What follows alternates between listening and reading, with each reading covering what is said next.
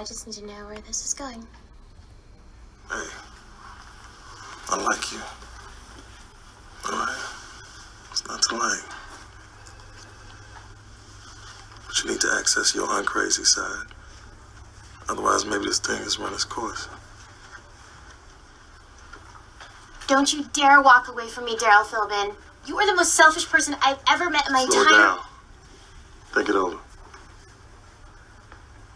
Darryl Philbin is the most complicated man that I have ever met. I mean, who says exactly what they're thinking? What kind of game is that?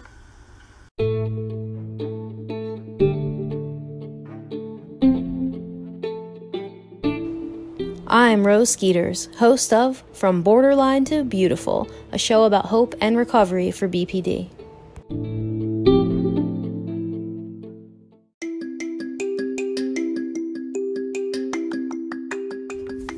Are you wondering how I recorded this podcast? Well, if you haven't heard about Anchor, it's the easiest way to make a podcast. Let me explain. First of all, it's free. Second, there's creation tools that allow you to record and edit your podcast right from your phone or your computer. Anchor will distribute your podcast for you so it can be heard on Spotify, Apple Podcast, and anywhere you can hear a podcast. You can make money from your podcast too with no minimum listenership. It's everything you need to make a podcast all in one place. So if you have something to say, I encourage you be bold, own your story. Download the free Anchor app or go to anchor.fm to get started.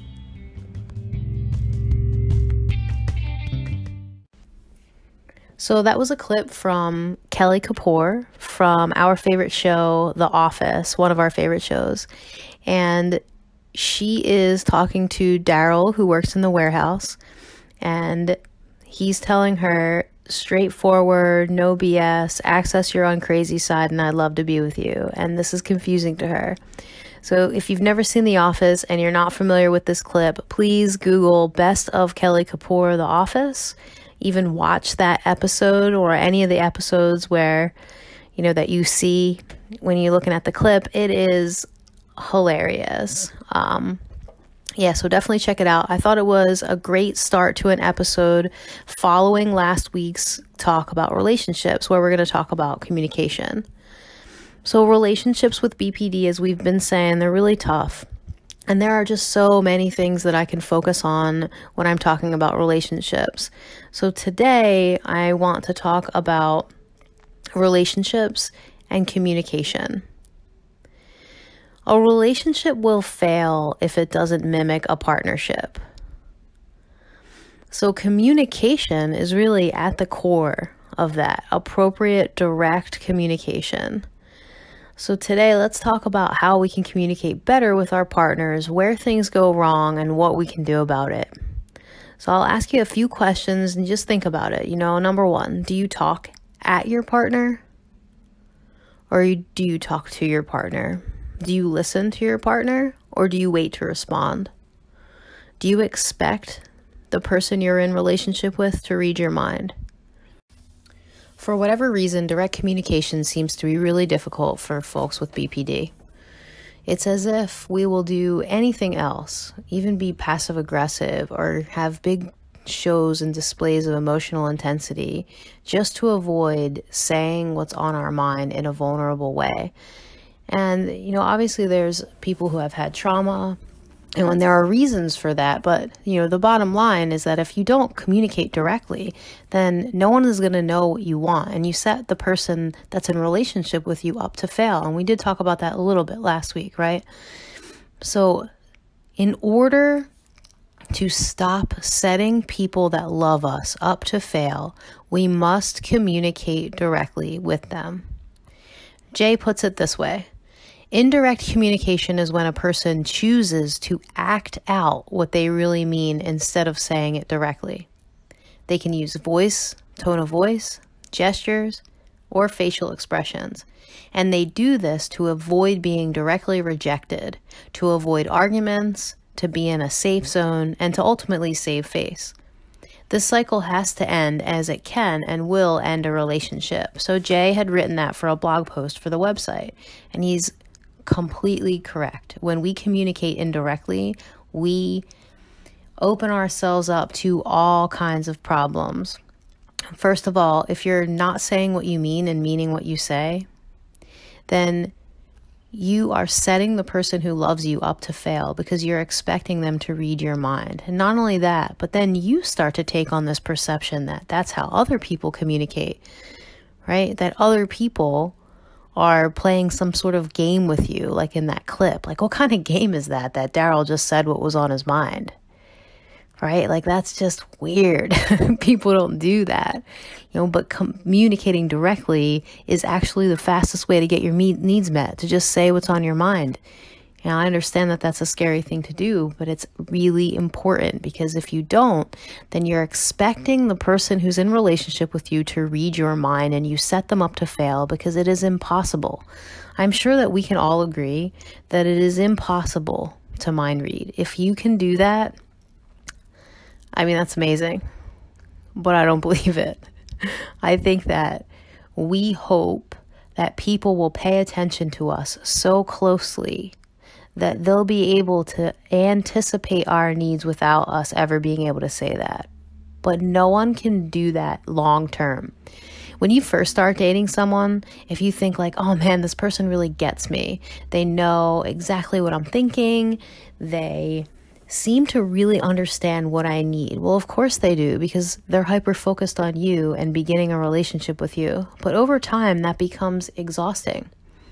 So if, you know, they're working all day or hanging out with their kids or whatever it is that they're doing and they forget to remember, like, or they forget what it is that you want or what they were doing before for you when they were dating, I mean, there's going to be a breakdown there because you're going to get upset and think that they don't love you in the same way if they don't meet the expectation of, you know, paying attention to your every need when you could just reach out and be like, "Hey, can you do this for me?" or "Can you do that for me?" I mean, I've had I can tell stories for days about this. You know, think about you know, I had a client one time who had fallen asleep. They were younger and they had fallen asleep during dinner time because they didn't feel well. So their family let them sleep. And they went like they woke up and they went downstairs downstairs and to find that everyone had already eaten dinner. So this individual went back up in their room and spent the rest of the night really upset and crying and suicidal because nobody woke her up to give her dinner.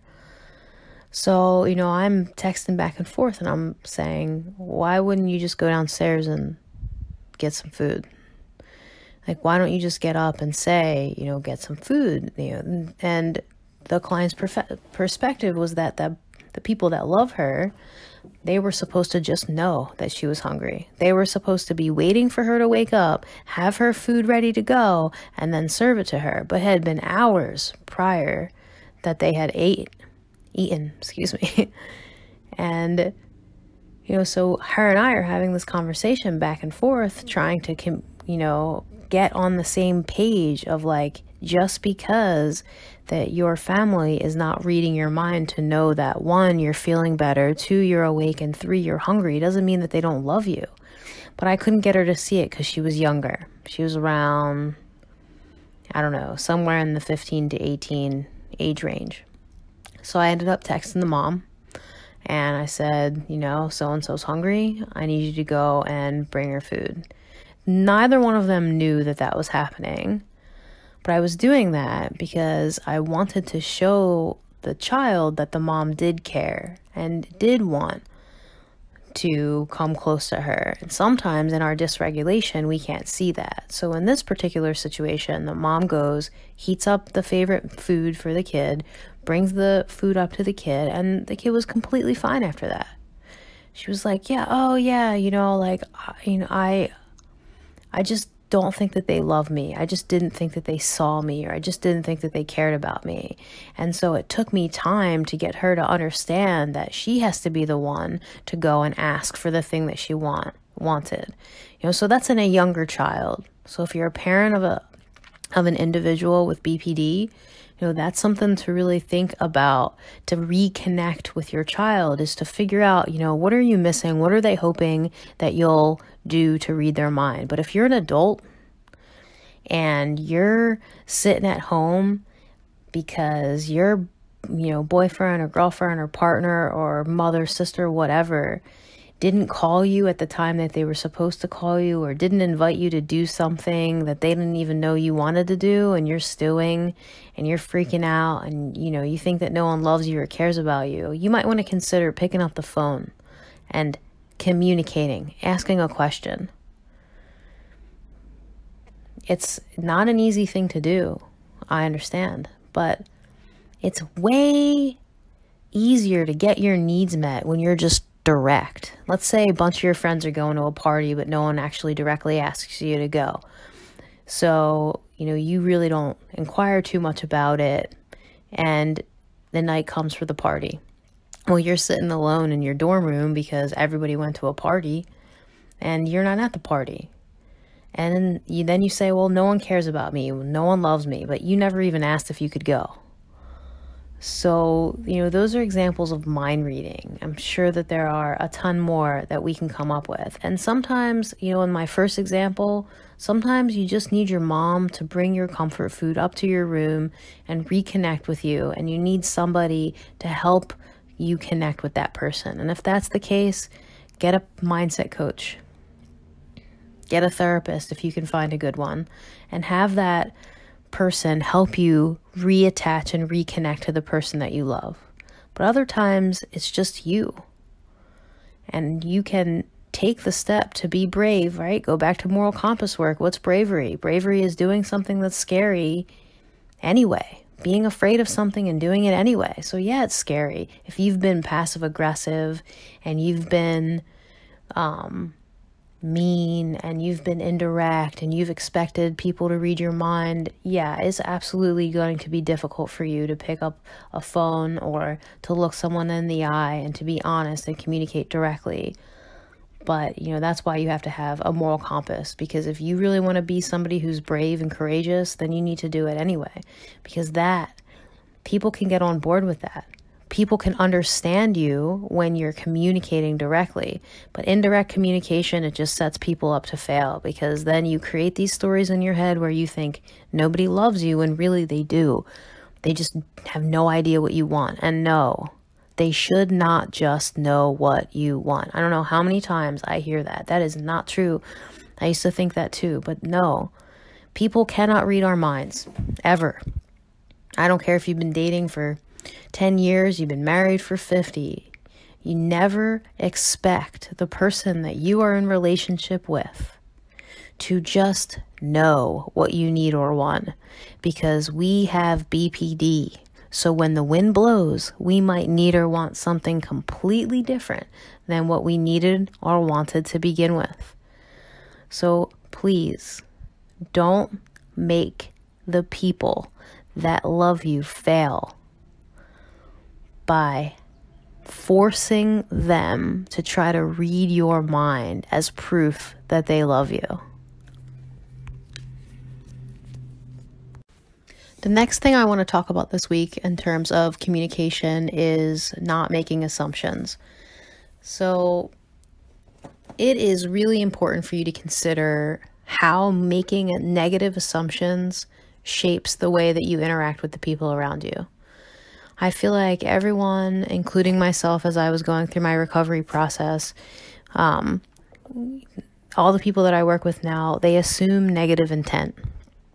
In other words, if they are in relationship with someone and the person doesn't call them back right away or they don't text them in the morning or they like someone else's photo on Facebook or they I don't know, act they're maybe they're more depressed one day, so they're looking at the ground and they don't make as much eye contact. Well, you know, people with BPD love to assume negative intentions, assuming that the people around them have are out to get them. And then with those negative in, uh, intentions comes conclusions that they draw from that. You know, so the second thing I would say if you want to improve your relationships and you want to communicate more direct, directly with the people around you is stop assuming that everyone has negative intentions. Why would you do that anyway? I was talking a little bit about this with Jay before I recorded this podcast over the weekend, and I think it's that whole glass half full, glass half empty mentality, right?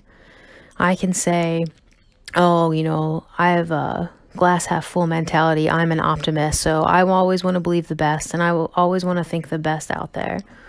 Or I can be, you know, a glass half full. I can tell you when I was in the throes of the disorder, I was a glass half glass half full kind of person for sure.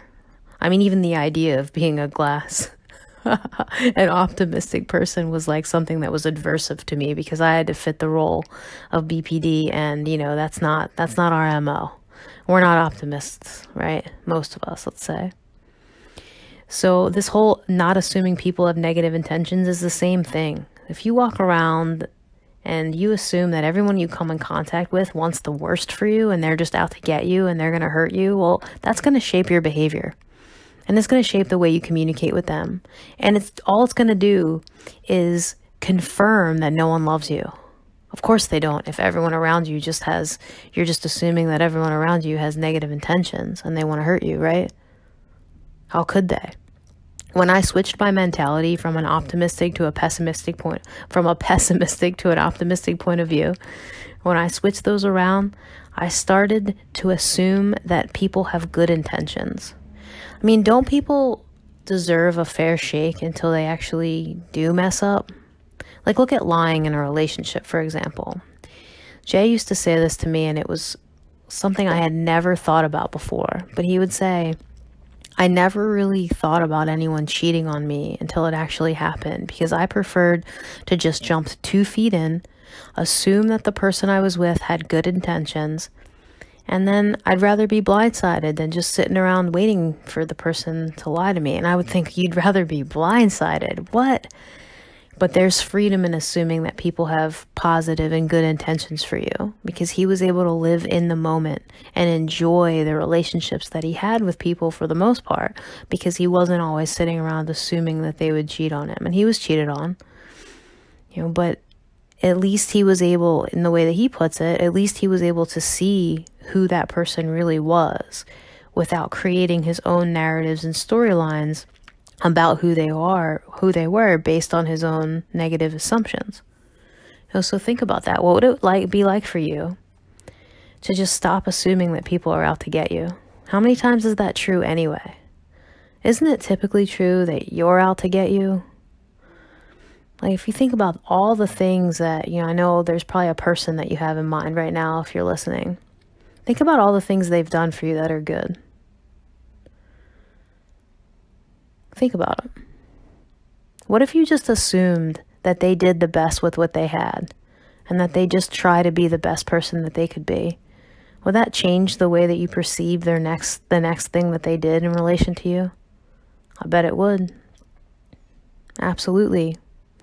It changes things for me in a big way. Everywhere I go, I used to have to practice this. If I went to CVS, I would practice smiling and just putting positive energy out and making sure that I had good intentions for the people I interacted with just in while I was shopping.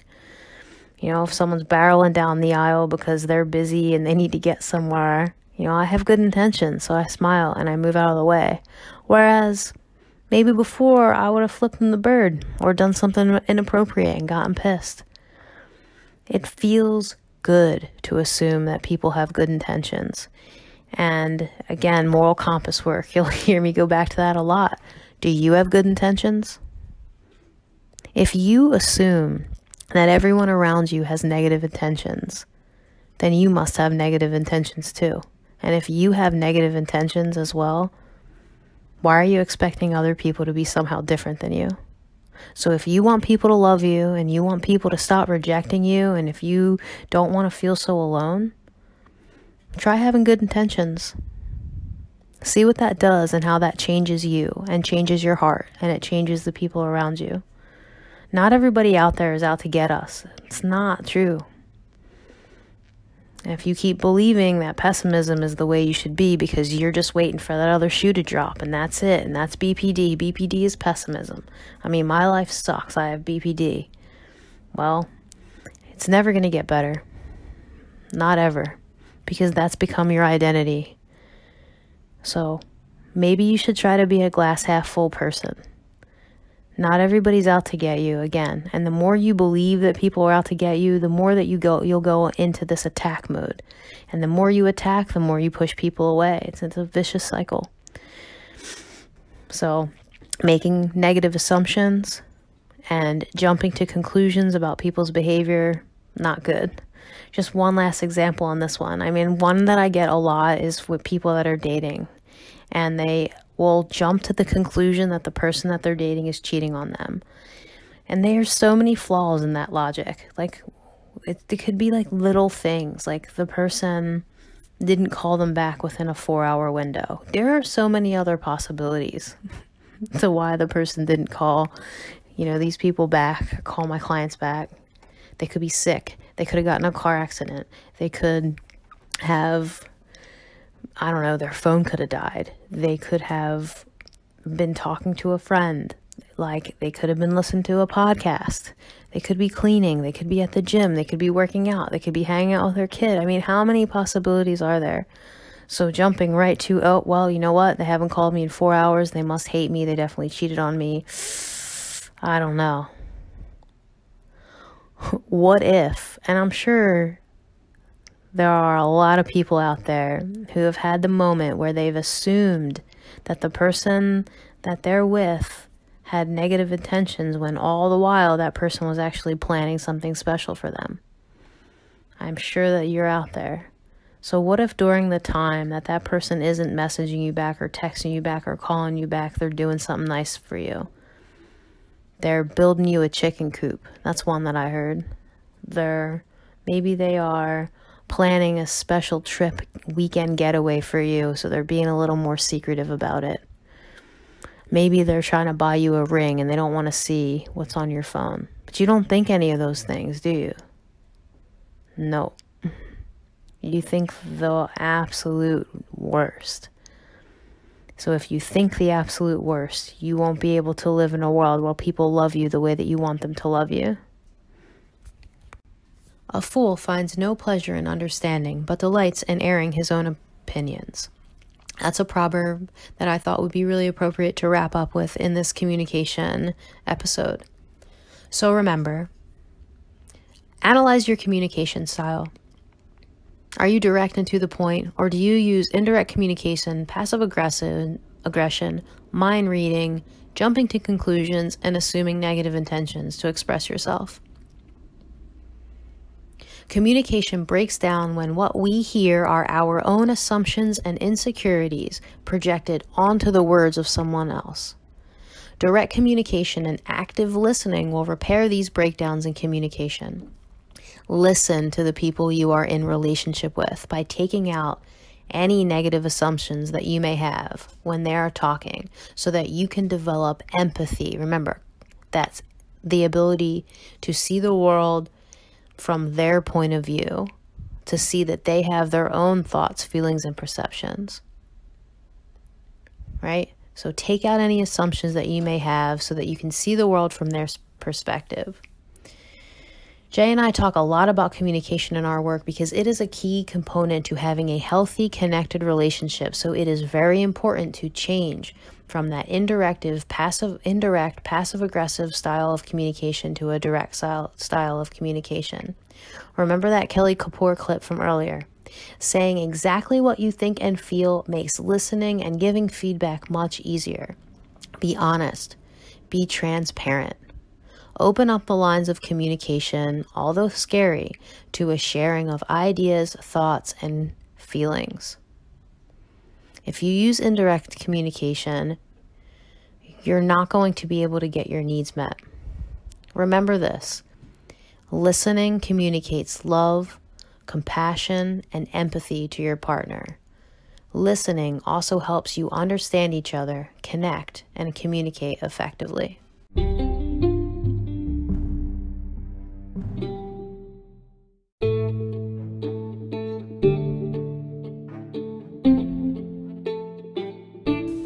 Are you tired of feeling frustrated, resentful, or disconnected from your family, friends, and partner? Thrive, Mind Body LLC Mindset Coaching and Counseling can help you. Visit us on the web at thriveonlinecounseling.com. Again, that's thriveonlinecounseling.com and receive 10% off your first session pack with coupon code THRIVE10. See you then.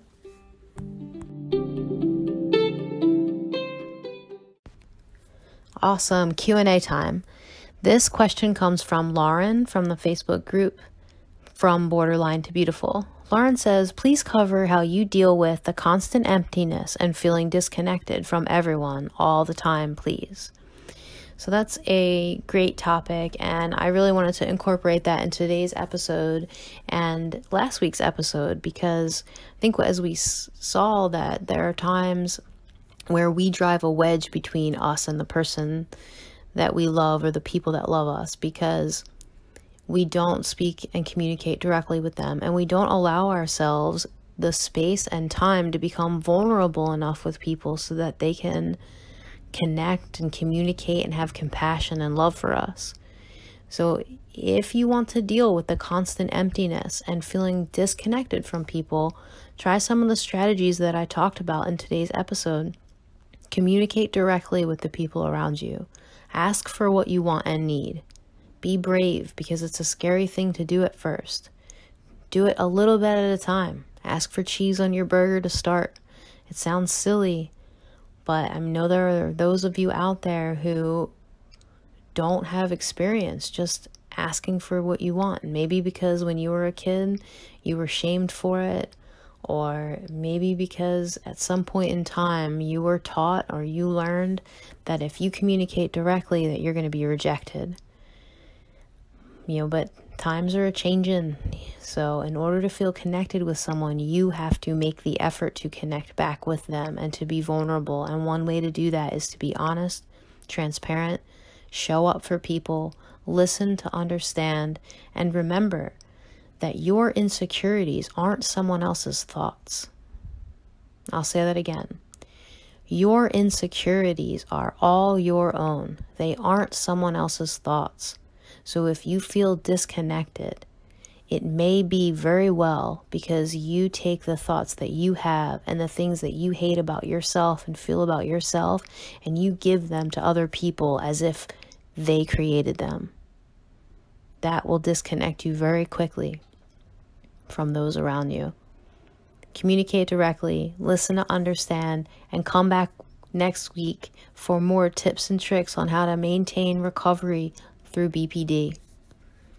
If you want to contact me, you can call at 1 844 984 7483. That's 8449 Thrive.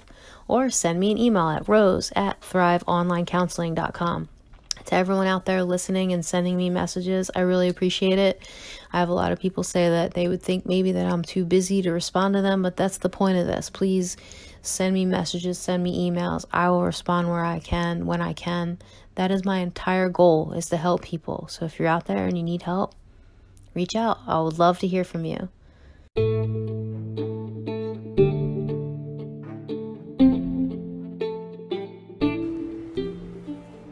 Okay, thanks for listening. That was from Borderline and Beautiful, a production of Thrive Mind Body LLC, online coaching that helps frustrated individuals, resentful couples, and disconnected families navigate through tough times. Visit us on the web at thriveonlinecounseling.com. If you like this show, remember, you can hear it on Anchor or Apple Podcasts or Pocket Casts or any app that you use to listen to podcasts. Subscribe to get a new episode every Monday. If you want to get in touch, you can leave me a voice message. Some of you had some comments and questions from the last episodes, and I'd love to hear whatever questions you have too. Just download the Anchor mobile app, search for From Borderline to Beautiful, and tap the message button to send me a voice message. We'll have all those links in the show description. Okay, we made it. Thanks again for listening. I'm Rose Skeeters, and I'll be back next week with another episode of From Borderline to Beautiful. Talk to you then.